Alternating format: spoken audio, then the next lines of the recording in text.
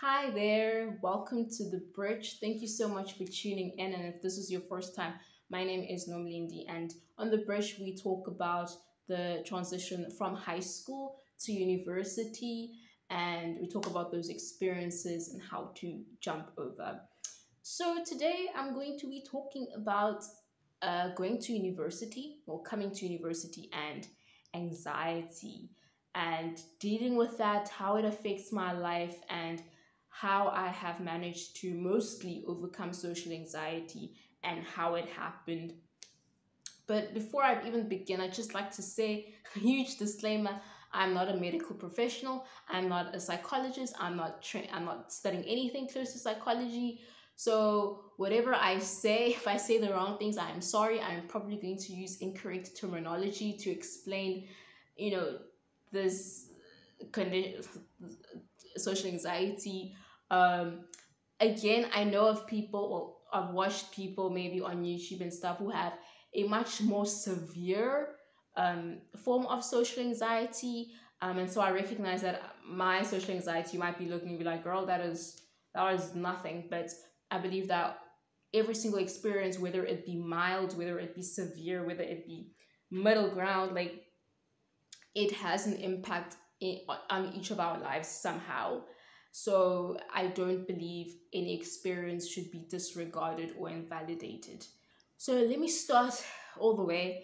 Um, I did have anxiety in high school, uh, just general anxiety, but it got the social anxiety aspect began during COVID times. And I believe it started like that for majority of us, right? Having to isolate, having to be in your own house or be in your room for months and months on end, having to avoid that social interaction. I think it the lack of exposure to it made us fear it, right? And so it started, um, I matriculated in 2020, but I went to university in 2021. And basically, those two years were COVID times, right? And so immediately I step into university, and majority of my classes are online. So I have moved to a completely different city and I'm in my own room and I don't really go out much, right? I don't really I don't go to parties because I have no friends in this new city. I knew absolutely no one, no family, no friends, and it's it's just me really. And so I step into this new season of my life and I'm not really talking to many people and there are some friends that are still are coming into my life which were absolutely ble- blessings. Um, but even with them i wasn't really spending a lot of time as much time as i would have liked to because i was just scared of social interaction in a way. Um, i would really isolate. I would i would isolate a lot during that year. And yeah, it, made me fear social interaction. Um, and it started becoming worse. So, social anxiety for me would be the fear of social interaction and all that comes with it. So, for me, it was the fear of judgment, the fear of humiliation, the fear of embarrassment, the fear that I would say something inappropriate and have to apologize for it later. Um, it has to do with fear, right? For me, it's different from introversion because I'm an introvert for the most part. Um, that means I prefer being alone most times and I prefer to recharge by being alone. But this is different from social anxiety because anxiety is not driven by is not driven by preference, it is driven by the fear of something, right? Well, in I could be wrong and I apologize if I am. Uh, but for me, it was that kind of way. And so, yeah, like, I think it hurts. Social anxiety hurts because one of the main things that I experienced was people seemed to be moving on in their lives. Um, they go out, they have social interaction, they seem to be having fun, and I'm just here, not really going out, not really talking to people much, and it is frustrating and it is sad, right? Because it's not that I don't want that for myself, it's that I fear stepping out. So how is it impacting my life now how has it impacted my life after covid is that it's still there but not as extreme as it was and i'll let you know about what what was the biggest trap or the biggest hurdle with overcoming social anxiety that i had to overcome um and that was something called catastrophizing right so when i was in my room in 2021 and i would think of all the things that could possibly go wrong if I went out. Like I would think, like I said, what if I trip and fall? What if I, I don't know, spit while I'm talking and everyone sees it? What if I, you know, just what if embarrassing things happen to me while I'm out? Like just worst case scenario things, man. And I had to go out over and over and over again.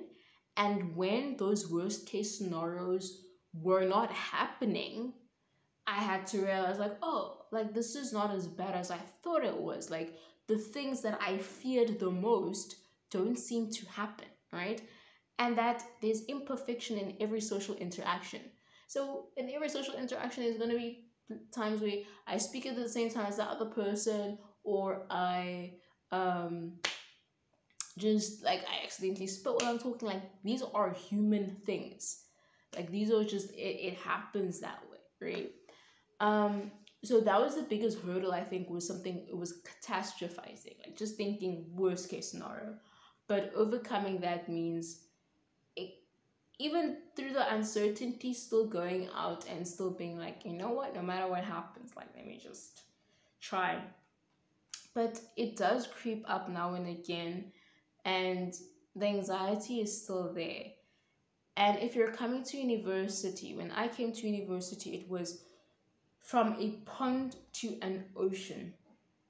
And what I mean by that is it was pond where everything is familiar, the people are familiar, the friends, I see the same friends every single day. I walk into the same environment every single day and there's the same 20 to 40 people every single day. Um, and so when I came to university, it's like, yo, new people, no one familiar, new place, new city, new environment, new atmosphere, um, varsity, a place where you see new people every single day. Like it's like you never know everyone here. You you just know a couple of friends that you have. And dealing with that instability, like getting used to that constant change just triggers anxiety again and again and again and daily like or i would say weekly it is a struggle some days i think the worst thing that anxiety causes is some days i don't even want to go to lectures like i have to fight with myself to attend lectures to be like it like just go out but what if this happens what if i embarrass myself like this what if I humiliate myself. Like, what if this happens in class? What if, you know, this happens and people look at me and it's it's like just go, just go. In that uncertainty, go. And again, when I go, then the my worst fear doesn't happen. It just proves to me again, like, look, you thought this would happen and it didn't happen. So clearly, the the fears they, they're wrong, right? Or they're not wrong, but yeah, they just they they don't happen um so yeah um how else does it affect me i just constant self-consciousness you know how do i smell how do i look um how do people perceive me how do um just you know i nothing that makes me stand out to be scrutinized it, this even affected the way that i dressed and it still does. Um, I would tell myself to not dress in a way that drew attention because then when I drew attention, I would draw judgment as well. So I would mostly wear black. I still do mostly wear black um, or sweatpants. I would wear a lot of sweatpants just just that I could I I didn't look I didn't stand out, right? Or people wouldn't look at me or anything like that. So if you're going through this um, I would, especially when going to university, I would say you are not alone. I think that is the biggest thing that I can tell you is that you are not alone. I have met people who are also going through this. I think a majority of university students, and I could be completely wrong, majority of university students do struggle with anxiety, whether it be social, whether it be just general, just anxiety. Um, is or about uh, stressing about how they are perceived or a fear of judgment or humiliation i think it is more common than we think. I want you to know that it is possible to work through social anxiety.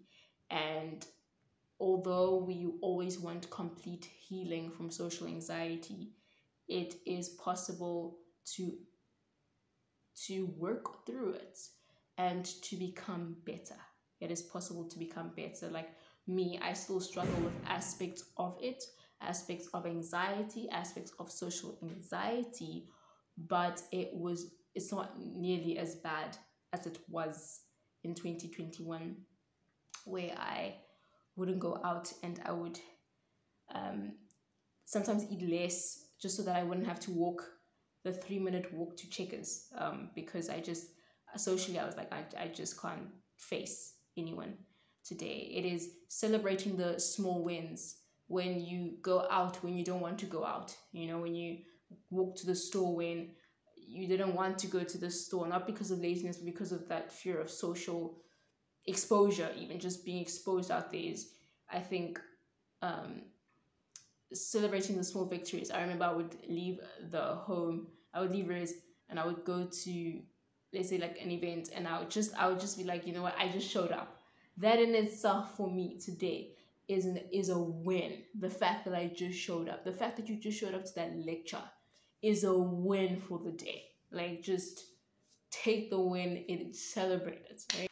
And that is to learning to come out of my comfort zone is the the the catalyst for for change and for quick changes.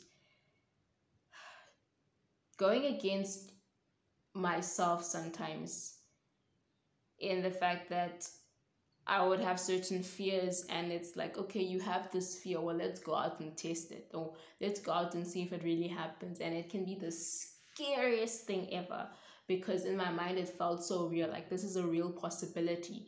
And then i go out and then nothing happens and i'm like oh so i can be wrong you know my imagination can be wrong my fears can be wrong. Um it's just yeah. So anyways that is anxiety. Um that is not even half of it i think we should definitely do more videos talking about it and really digging deep into it um, and how it affects students specifically, especially in university, how, how, how it affects people here. I know I'm not the only one, um, but I really hope as you come into university or whether you're already in university to take it one step at a time and to realize that you will be okay and to realize that you are probably your own worst critic because people don't judge you nearly and most of the time people don't judge you nearly as harshly as you judge yourself and the people who do judge you harshly probably and usually don't are not doing any better themselves. Um, i think people judge harsh people judge other people harshly when they have their own insecurities because i know that i judge other people harshly when i have not dealt with my own insecurities and judging others is a way to make me feel better about myself. So no one wins, right? Um, but yeah, anyways, that was quite a video. I hope you're doing okay. I hope that this year goes well for you. Happy New Year in February. Um, but yeah, thank you so much for watching. If you have any comments, have anything to say, anything to add, anything to criticize and to disagree with, then please type it in the comments below. If you have any suggestions for upcoming videos, please type it in the comments below. Um, but yeah, I'll see you in the next video. Bye. Take care of yourself. Take care of yourself.